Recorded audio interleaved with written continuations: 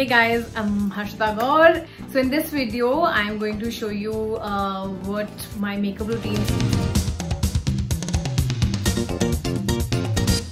but apart from makeup what i do for my skin is what i really wanted to uh, speak about. So uh, we all go through skin concerns whether it's acne pimple uh, rosacea. Like i am going through rosacea these days so these days i'm i'm suffering from rosacea. So my entire like cheek and my chin and when i wake up sometimes i have rashes. All that happens. But i'm treating my skin. Uh, but as far as makeup is concerned i keep it uh, bare minimum in everyday uh, thing because it just you also need to and and the acceptance that it's fine that my skin is going through something. It's fine if i have pimples. It's fine if i'm you know if i have uh, acne uh, i treat my skin but i'm not gonna be like sitting at home and cursing the fact that why do i have it? And as i'm telling it to you i'm also telling it to myself. I tell it to myself every day. So yeah. But uh, in general for skin i think a few things which i take care of is uh, very important that when you go to bed in the night it's very important that you take everything off from your face whether you've done makeup or you've not done makeup it's very important that there should not be anything apart from your night cream moisturizer toner uh, on your skin when you sleep. You know or any any sleeping mask something which is not for the day should not be on your face. So uh, so i make sure that i clean my face thoroughly and uh, and and then i put on my moisturizer and my toner and then i sleep. Uh, that's very very important uh, sometimes I, uh, you know, I come back home very late and tired and probably if I've just gone out and I've not done anything on my face, but if it's only an eyebrow, I, I still make sure that I take it off and I wash my face. That's very important. In fact, doing a night routine is more important than doing a day routine.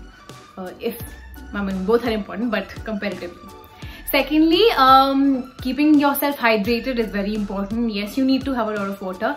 But when I say a lot of water, that doesn't mean that you know you need to have liters and liters of water. Uh, like this is also, uh, I feel it's a misconception where people say that have 5-6 liters of water.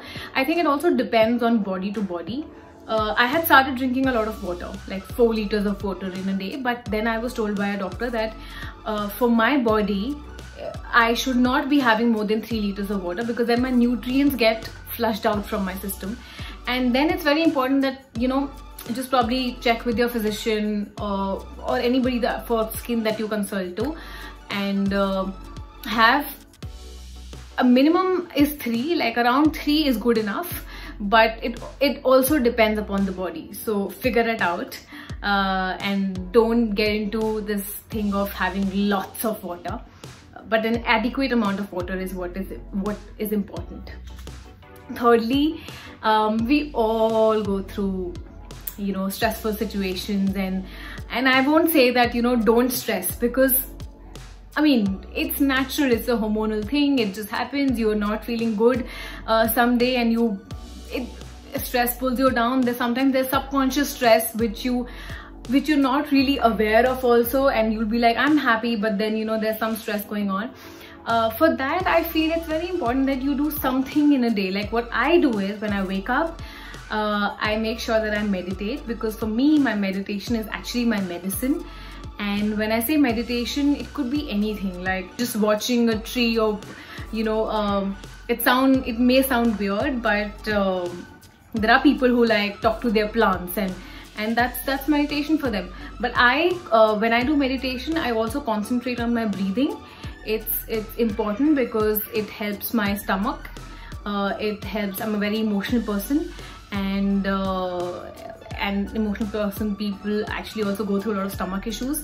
So my breathing helps my my uh, my stomach my skin and uh, then in my meditation I follow certain practices. Like I like I will think about things that have happened in, in the past few days that I've been grateful for.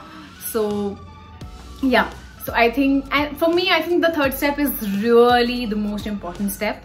And uh, it uh, it just naturally uh, takes care of my stress.